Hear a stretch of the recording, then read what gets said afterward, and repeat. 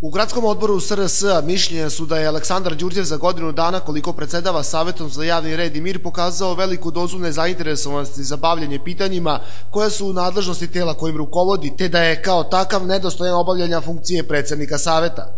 Radikali su preko svog predstavnika u Savetu uputili inicijativu za razrešenje Đurđeva i nadaju se da će to biti učinjeno, pošto tvrde da su čak i koalicijani partneri stranke koje pripada za takav potez. Potpuno smo svesni činjenice da je bezbednost u Novom Sadu na nikad nižem nivou. Teške krađe, razbojništva, e, otimačine, prosjačenje širom grada, džeparenje u javnom prevozu, psi lutalice koje su preplavili grad su očito teme koje ne zaokupljuju ni minimum pažnje gospodina Aleksandra Đurđeva, i zbog toga mi smatramo da je on nedostojan da dalje obavlja tu funkciju na koje ga je izabrala kadrovska komisija, odnosno Skupština grada Novog Sada. U telefonskoj izjavi Aleksandar Đurđev nije komentarisao razloge koji navode radikali za njegovu smenu, istakavši sa druge strane da u ovom potezu gradskog odbora SRS-a prepoznaje uticaj demokratske stranke, pre svega Bojana Pajtića.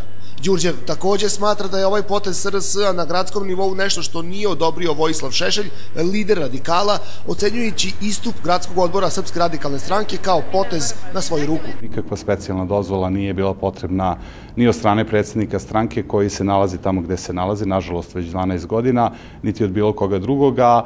Zaista to dovoljno govori o ozbiljnosti gospodina Đurđeva koji je komentarisao to na taj način, a ni jednom rečju nije rekao zapravo e, zašto ne izlazi građanima u susret, zašto ne zakazuje sednice Saveta za javni red, mir i bezbednost i zašto se jednostavno ne bavi poslom koji mu je poverila Skupština grada Novog Sada.